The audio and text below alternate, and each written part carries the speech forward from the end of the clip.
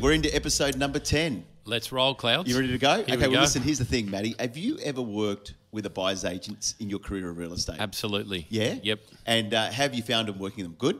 Really good. Um, yeah, very professional. Most of the buyers agents I've dealt with have been really good. Yeah. Um, our guest here today's been exceptional. Had a lot, to, lot of dealings with Byron uh, Rose over the years. Yeah. Um, found that uh, his clients are, are always highly organised when they come um, along and have a look at the properties. Perfect. Which is a testimony to um, the way that these, these guys deal with their clients. Yeah.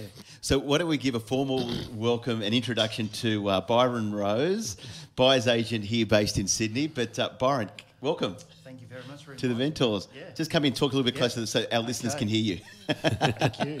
So Thanks, Byron, tell us a little bit about your business, how long you've been in uh, being a buyer's agent, and um, and your background. Okay. So Rose and Jones uh, was established by Rachel, my wife, 20 years ago. Wow. And uh, the two of us uh, set it up 20 years and been in operation all that time. We've now expanded uh, to a good portion. Say we've got 14 people in the office here in Sydney, and we've extended our services now into um, Victoria and Queensland. Wow, 20 years. I actually remember when you originally first opened. So 20 years ago, Matt, I was at LJ Yeah. Hooker Bondi Junction. Oh, there you I go. just got out of nappies. and I got into real estate uh, a couple of years beforehand. And I was thinking, buyer's agents, what do they actually do? So, how can this be relevant today, Byron? Let's talk about the marketplace at the moment, mate. What, what do you? Let's talk with you, mate. What, what are you seeing in the market? You're, you're, you're in the trenches with your Yep. guys in your marketplace at the moment.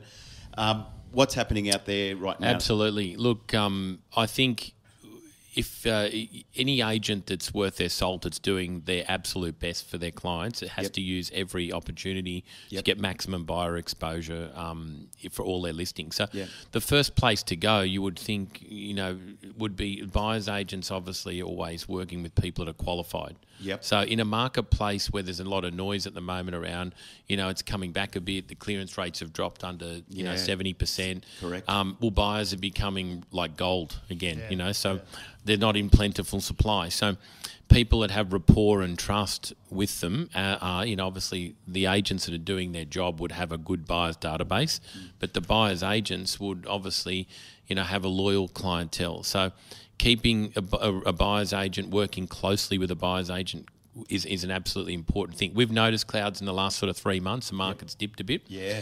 Um, and uh, you know the clearance rates. Obviously, some clients are still feeling, you know, they want to hold out for their price, but um, they just don't have the amount of uh, competition on every single listing. Yeah. So having a buyer's agent come along and and uh, that's already got rapport, that's um, been working and educating a buyer as to where the market is, whether it's going up. But those buyers are usually highly qualified. So Yeah. adding them into the mix for the clients a really important part of the equation. Yeah, because we, I mean, I'm talking to agents across Australia, Byron, and numbers of buyers coming through open homes are a lot less than they were, like you said, Maddie, three Yep. three months ago. So, how can an agent um, use you and Yeah. you bring value to them?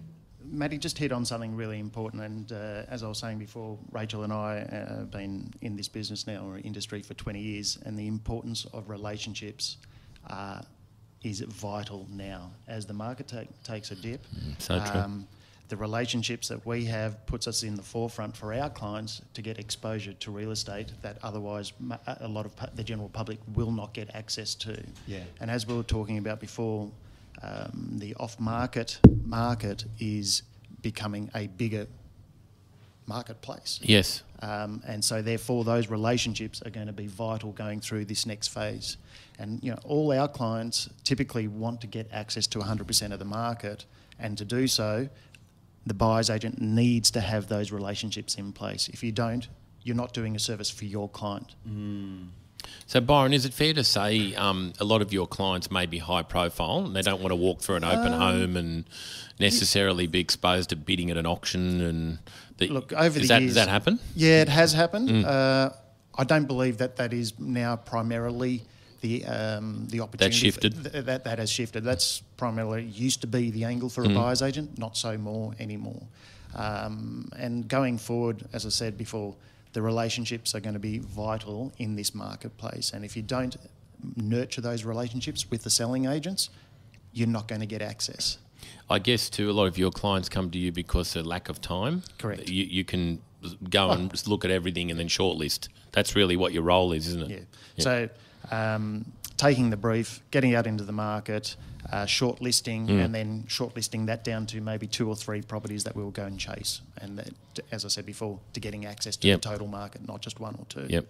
So what would what would a, a typical agent do, Byron, to start a relationship with, say, someone in your business in your company, being a buyer's agent? Um, what would what would a typical real estate agent do to start to reach out to you and sort of say, hey, you know, Oh. um, I want to work with you more closely. Yeah. Um, you know, be as build a strategic alliance with you. What would what would be the process? Oh, let me flip it around the other way. What I actually tell my guys to do, Yeah. so- which would be no different to uh, the selling agents uh, angle as well, and that is, um, you can't be liked or have a relationship with 100% of people. It's impossible. So when you go through your opens, who do you? Who, what are the agents that are reflecting information that is important to you and your client? And from there, I, I believe, starts the, the, the beginning of a nice relationship. Those agents who communicate well with the buyer's agent, and therefore, once the buyer's agent has that start of that relationship, I tell my guys, make sure you keep nurturing it. They are the ones who get access to the product that we want to purchase. Mm, mm. So if you don't build that relationship with that person who specialises in that, that particular area, Yep. you're not going to get it Wow, wow. and therefore you haven't done the service by your client because the relationship is the Got it. important cog in the wheel. yeah, right, right. Byron, is it? Um, I'm intrigued because I remember when you started. Uh, I've known you for as long as that time, but and Rachel, um, she's a champion. Um, how's the role of the buyer's agent changed in the last 20 years? H- has it changed? Good question. When when we first started, it felt like that uh, Rachel and I were really just a concierge service. Yeah. so we're just giving access to real estate and going and inspecting properties and telling people this is what it's worth and blah blah blah. But now um, Rachel and I and the team we've developed more significant processes in in what we in our due diligence so that we know what we're doing, we know how to analyse the real estate, we know what the rates per square metre are for each type of property, whether it be a home, an apartment, or a vacant block of land. So the skill set, um, in my view, has shifted in that the buyer's agent needs to understand how to assess value, not just print a document off RP data and say that is the price. I think you need to go the extra step and analyse that information because the the algorithms that are in there are so wide and varied, and we do work in a very small pocket of the Sydney market or a particular geography of various markets. You can't have such a wide wide angled lens on, on property. Right, and um, I, I've sort of noticed, I could be wrong, um, ancillary services around what Yeah. you do have grown too from 20 years ago. Is that right? Yeah, Yep. to a degree. I mean, obviously, similarly to what you guys do, uh, you know, we do offer the services of legal advice. We do the strata searches and the building and pest reports. Um, Finance. yeah, we get obviously, yeah, and that's a big angle for us as well in, in respect to relationships. Again, um, those who specialise in the finance market, they've got um, a boatload of clients who are Yeah. missing out on real estate. Yep. Now, what about Byron? If, if there's someone listening here, they might think, okay, well, do buyer agents just work in the metro areas, like in, say, the eastern suburbs of Sydney, Lower North Shore, or wherever else? Like, say if there's a listener here today that could be, I don't know, just say out in Liverpool, out in the western parts of Sydney, um, is a buyer agent as relevant out there as, say, someone in, you know, looking to buy in the eastern suburbs of Sydney? Like, do you have clients who are looking not just in those areas? Or Yeah, yeah. Look, there's certainly a higher turnover of um, clientele in the western suburbs. Um, not that we specialise in that area, but I know that there is certainly an opportunity for a buyer's agency role in those markets. Right, yep. Um, so for anyone listening out there, there's there's an opportunity for, for that particular marketplace. Primarily, buyers agencies were set up to service the core markets of each capital capital city of, the states. Yep. And that um, I liken it. Go back 20 years ago, we were an inf- we were a baby in the industry. Yep. We are still in the cotton wriggling Yep. around. Now we're in now. I don't think we're just on the. We're outside the toddler years and we're coming into the teenage years as an industry. And as more competition comes into the industry, I think that's a great thing, and it puts a stamp on uh, that, that that angle of the real estate market. That service that needs yeah, to be provided. Yeah, absolutely. What about um, advocates? Is that is that the same? Is like Yeah. I notice in Melbourne they call themselves advocates. Is that just an That's Melbourne. that's just an upper class Be way nice, of saying I'm be a buyer? nice. So in Melbourne, it seems to be that it's very it's a p- really popular Yeah. service. Is that correct? Yeah, so when uh, Rachel and I started uh, back with all those years ago, Melbourne was already ahead of the Sydney Right. uh, market in respect to pri- uh, buyers agency. So I would have to say the last count of buyers agents or agencies in Sydney versus Melbourne, Sydney's now overtaken Melbourne. Right. Is that right? Okay. Absolutely. That's huge. That's a big. That's a big one. Yeah. Fantastic. But the role, advocacy, buyer's agent, identical. It's identical. Correct. Okay. Correct. And No what changes. about nationally rest uh, like Perth, Gold Coast, Brisbane, Canberra? Yeah. What's the thread spread off the top of your head there? So, as to numbers, Sydney, Melbourne, Brisbane, Perth. Okay. I think there's one or two buyers agents in the ACT and Right. South Australia. Okay. So, there's it- representation. is it throughout is the country. trickling, Yeah, yeah. Yeah, absolutely. you can see it. And it's going to grow. It will Okay. continue to grow. And I For think sure. as an industry um, that is significantly behind in years to the selling um, process, um, I think we're on a real steep, steep learning curve and a, and a growth curve for the next 15, 20 years. Okay. So, Byron, looking at your service, so obviously we understand from the vendor's point of view, Mm. uh, sorry, from the purchaser's point of view, they, they pick you, you look after everything for them, one stop shop. How do how did to get into the agent's mindset and psyche, um, understanding that you're not competition to the actual agents in a sense that you can actually. I mean, I've worked with you for years. Um, off and on, you know, I've had clients that you've you've had um, purchases on, etc. Um, I think it's painless to have buyers agents working with agents, but that's just my personal view. How do you feel you're received in the market? One, and two, what is the general feel that you get when you turn up to act on behalf of a purchaser? Very, very good question. Mm. So go back 20 years ago again, and we were like vermin. Okay. agents, you know, Yeah, your, yeah. Your, your hardcore traditional selling agents didn't understand. They they saw us as a threat. Yes. And as the years roll It's on, my listing. Don't Yeah, touch it. exactly. but they thought we were going to chop them out of a deal, and it wasn't the case at all. We were there to facilitate a transaction. And going forward, roll forward another 15 years, um, with the industry growing the way it has, and the amount of buyers agents now involved in the property property piece, listing agents now see the benefit of engaging with with buyers Absolutely. agents. There Yeah. is, and those that don't see it haven't grown enough. They don't understand the mechanisms that we bring into the transaction. Yeah. And those who have embraced it um, are seeing the rewards of engaging with buyers agents. I'm not to say that you know buyers agents are there, you know, an easy free ride for selling agents to get deals done. And uh, sometimes I've been accused of being too hard to deal with. But um, you know that's the process. And But you know, represent the buyer. at the yeah, end of the day. we represent the buyer. at the end of Clouds, is also, um, you know, you having worked in real estate as well, same you, you and I um, for a long time together. Yep. But um, one thing, the the myth that's out there, Byron, um, and I don't know if you feel the same, Clouds, was that a buyer's agent's always trying to get the house cheaper or the, Yeah. the apartment cheaper. That's actually not your brief from the client, is it? And it's not what you promise them to do either, because market value is market, market value. value, correct. But, but what about today? What about today, Byron? Yeah. Where the market is. This is is where we wanna go. Yeah, exactly. Like you got you got sellers up here, and you got buyers who are thinking down here. A buyer comes to you and probably goes, "Hey, Byron, how can we get it like a dirt cheap? Get How me do we get the bargains now? So, how do you work on that? How do you Uh, manage your expectations? Yeah. Mm. First thing is there is never a bargain in, in the prime markets of any any, Yeah. f- any city around have to world. agree with you there. There is no bargains, Yeah. and if you do, you're you're you're done very very Very well. well. Yeah. But Yeah. they do not come across the desk every day.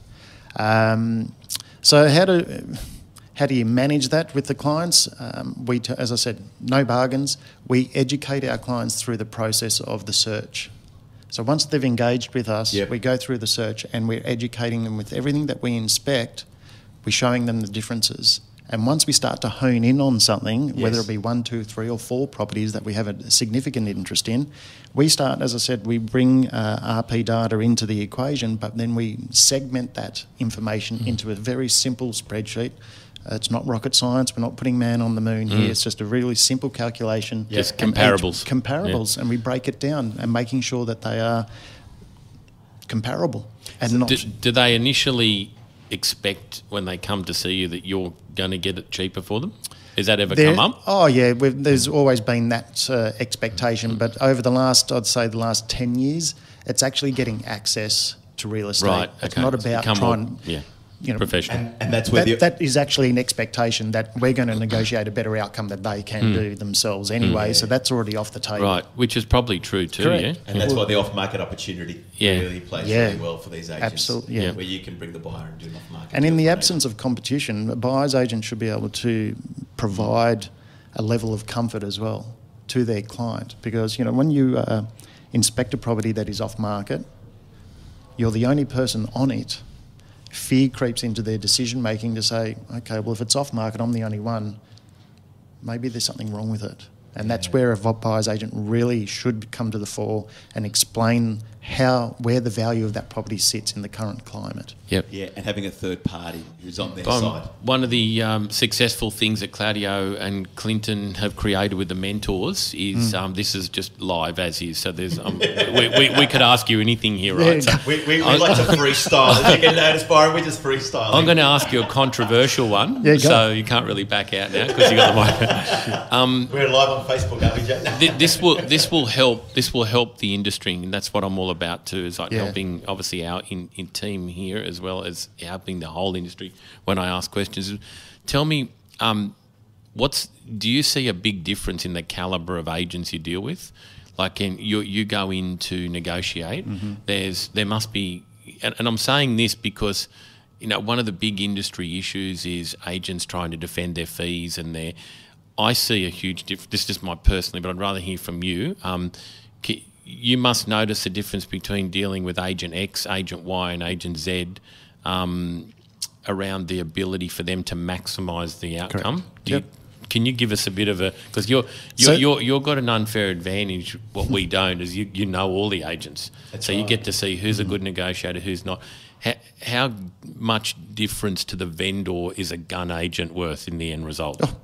Tremendous amount of value. You- Tremendous. You, can So the actually fee- fee- articulate it. the one, two, two and a half percent fees that uh, agents charge, that's off the table in respect to a good agent. That the preservation of fees should not ever be a discussion. It's about how they're going to maximise the value for, for their client, and through their negotiations, that two percent is it's, it's nothing. It's just uh, that's spare change at the end of the day So- because they can maximise another five or seven percent in the in the transaction. That's if awesome. Really good. So what I was trying to get to, sorry to jump back in Yeah. there, but what I was trying to get to was, if you're a top agent and you know you're a top negotiator, you should hold your fee because you, Yeah. you can see. Can you see? You've seen the difference between Because you're dealing with agents every agents day. all the time. Can Yeah, you give and, us and some? they're giving So- you an offer, and you're going, "Oh my god, I had another fifty grand up my sleeve. I could have put in." That's- and this guy's accepted the offer. Where basically, Correct. That's you, where I was going. Man, this Righto. guy's a good negotiator. Like that's what Matt's saying is you can see So different it, types of agents. to go back to what you were saying before, the, have I seen a change in the caliber of agents out there and Skill- thre- and skill. Mm. skill sets? And um, I would definitely say in the last five years, I've seen um, with the growth of uh, of selling agents into the market because the market drew a lot of people into the industry. Yes. The caliber, in my view, has waned uh, somewhat. But I think going forward, you'll see those with very good negotiation skills and, and, and general skill sets will remain in the industry, and they'll they'll stay there and, and throughout the transaction. and you know who they fee. are, right? Because you're dealing with them. You know, um, one of our colleagues in, in Rose and Jones, you know, we've sat down and, and gone through the agents that we deal with on a regular basis, and we categorise them. is that on? Oh, no. do we the- need to ask on How, what? how do we get that list? do we need to ask on what rating you're rating them on? yeah, like Apple You iTunes, can, no, no, four and a and half. pure- five. We've got five star It's- reviews, it's- by the way. The rating, the rating that we, we apply is based on their skills and the type of person they are in the process. Really? So Okay. we can be armed on how we're going to transact with that agent. Right. Yep. So are they are they non-commutative? Are they aggressive? Are they um, you know, we know from history, you know, a, an agent, no names, but you know, won't communicate with you for 48 hours, and then all of a sudden it ramps up on you. So we understand the mindsets of a lot of our agents that we deal with, so that it helps us how to navigate the pathway to get a successful outcome for our client. That's awesome. Would Yeah. you be able to share with the listeners what you'd find the best agents, what their course, what their best skills are when you're trying to? Could you share that?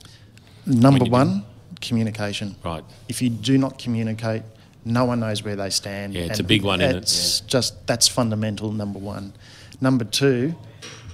Are you allowed to swear or no swear? Yeah, yeah, yeah, yeah, yeah. Clinton. Clinton, put the get your hand on the red Get- get button. the- edit. Depends on what level, Byron. Go, Byron. It's a family show. Mums and dads out there, Yeah. cover the ears. Go no, don't bullshit. Yeah. Yeah. okay, Just yeah. don't bullshit. Just Yeah. Put it all, all on the table. When you put everything on the table, the deals get done. Hmm. Totally. We're not there to. Yeah. We're not there to Just tell the friggin' truth. tell the hmm. truth, hmm. it. communicate. Simple. We're not there to muck around and buggerise around a transaction. We're actually there to facilitate an outcome for Yep. bu- for our client, and so is the selling agent. So communication follow up, straight talking, straight shooting. Yep. Um, what about product knowledge? Do you find there's a difference in agents? Some agents know all about the product, the other sales in the area, Yeah. and they know about their properties better than other agents. Do you, There, there are that? there is certainly a handful of agents who re- are really, really, really good at product knowledge, and they know not just their own transactions, but all their competitors' transactions in the market, and that helps build a, a case study when they're trying to transact on the product that they've got on at the market at that time. See, Clouds, I'd, I'd be saying this is great to have Byron here to talk about this because he's an independent health check on the industry. Yes. But where I was going with, if we're coaching agents, and I know Yep. you've got a huge coaching database, yep. but um, we'd be saying to them, like, taking what Byron's saying as gold, is Yes. we've spoken to a buyer's agent, it's all about communication Communication. because if you're selling yourself to the owner, if you had an endorsement from Yeah. a buyer's agent as to, look, Yeah. I tick these boxes. Correct. That's why you have to hire me. Yeah, yeah. And I'm worth the Mm. commission because the buyer's agents can tell us there's a huge variance to somebody getting the maximum But result. it's a, it's a two-way. Absolutely, It's, absolutely. it's a two-way street as well because I know there are a number of buyers agents and agencies out there that don't communicate very well. Yep. Totally. So it's and that frustrates Yeah. the selling agent. Two-way They're Straight. probably not Absolutely. communicating to their vendor either, Byron. yeah. Uh, well, look, Byron, it's been an absolute honour for you to come in and join you. us here I in the studio at HQ, The Mentors. The Mentors. And uh, if people want to reach out to you, what's, where's the best place to find you? Uh, rosenjones.com.au. Oh, I the love best it. way, yeah.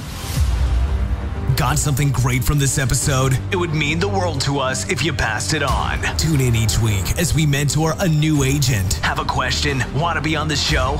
Get in touch with Claudio Encina, Matt Lahood, or visit our Facebook page. The Mentors is brought to you by Sprinkler.media.